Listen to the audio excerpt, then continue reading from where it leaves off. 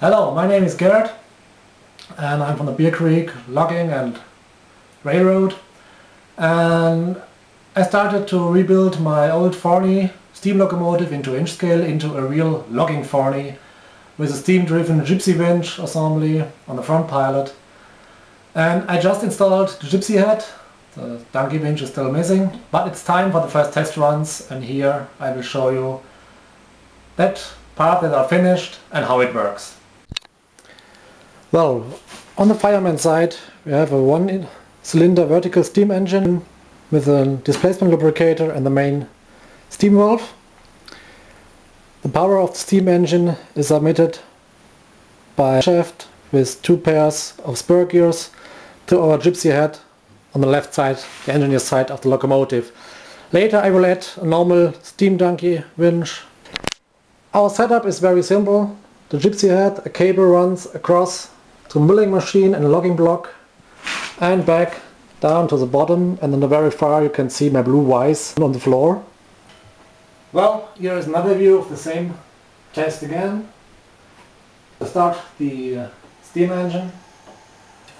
And it's a one cylinder engine, it doesn't run itself. So, direction speed, now look only a small pull of the fingers in the end of the cable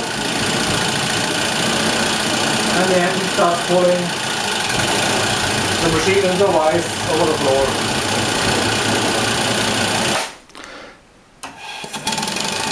So, last test run to show you.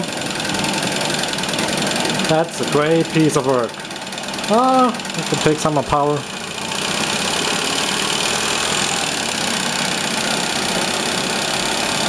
And there it comes.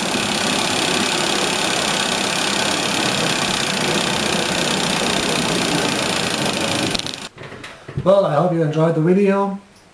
It was one of the first one with real comments from myself, so please be patient with it. Um, I will try to get the rest of the winch done within the next few days or maybe one or two weeks.